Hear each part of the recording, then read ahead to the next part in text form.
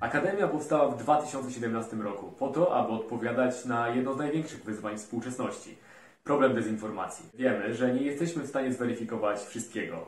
Dlatego tworzymy takie sytuacje edukacyjne, aby nasi odbiorcy byli w stanie samodzielnie rozwijać kompetencje krytycznego myślenia i weryfikowania informacji, budując w ten sposób swoją indywidualną odporność przeciwko dezinformacji.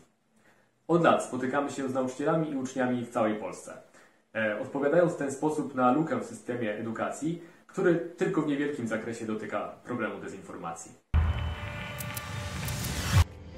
Tworzymy taki zestaw eksperckich scenariuszy lekcji, około 60 eksperckich scenariuszy lekcji. A nawet więcej. A nawet więcej, na ważne społeczne tematy dla młodzieży w szkołach licealnych. I oni mogą sobie pobrać taki scenariusz i przeprowadzić lekcje w szkole.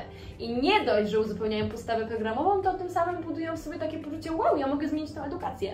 Nauczyłem tę klasę czegoś ważnego, na przykład o migracji, o neuroróżnorodności, o zdrowiu psychicznym. No i to, co nam się udało, to zdecydowanie to, że nie jesteśmy tylko w dużych miastach, ale też w małych miejscowościach. Nasza absolutnie ulubiona miejscowość to Tarnawatka Tartak. Pozdrawiamy Lubelsk. I 230 innych miejscowości, w których jesteśmy.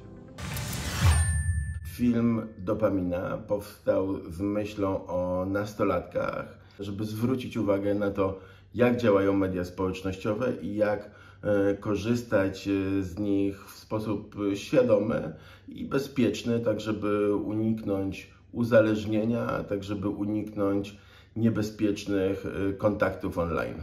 Zaprosiliśmy młodych ludzi również do tego, żeby wspólnie pracować nad scenariuszem, no i koniec końców Młodzi ludzie wystąpili też w tym filmie. Część scen jest wyreżyserowanych, ale wszędzie tam, gdzie pojawiają się e, rozmowy, to są prawdziwe rozmowy nastolatków e, o tym, dlaczego media społecznościowe są dla nich ważne i jak zadbać o to, żebyśmy to my kontrolowali technologię, a nie technologia nas.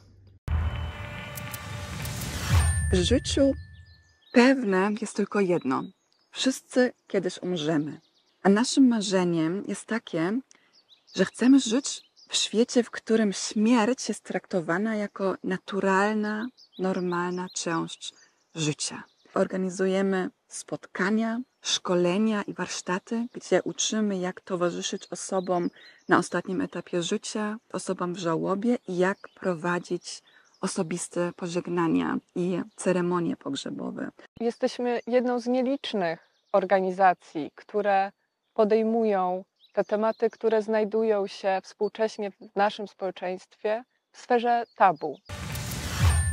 Leśna Banda to cykl czterech spotkań w przyrodzie, e, gdzie klasa wraz z wychowawcą pod okiem trenera e, realizuje e, spotkania absolutnie niesamowite. Dzieciaki uczą się, jak rozpalać ogień, jak budować szałasy, jak znajdywać pożywienie, jak ugotować coś z zebranych dzikich roślin jadalnych. Misja, która nam przyświeca, to odbudowa relacji człowieka z przyrodą. Tego kilkuletniego człowieka, który te relacje ma jeszcze taką naturalną, wrodzoną, ale która wraz z jego wiekiem, wraz z procesem wrastania w kulturę zanika. W zajęciach Leśnej Bandy wzięło około 13 tysięcy dzieciaków pod okiem 33 trenerów w całej Polsce i z roku na rok ta liczba rośnie.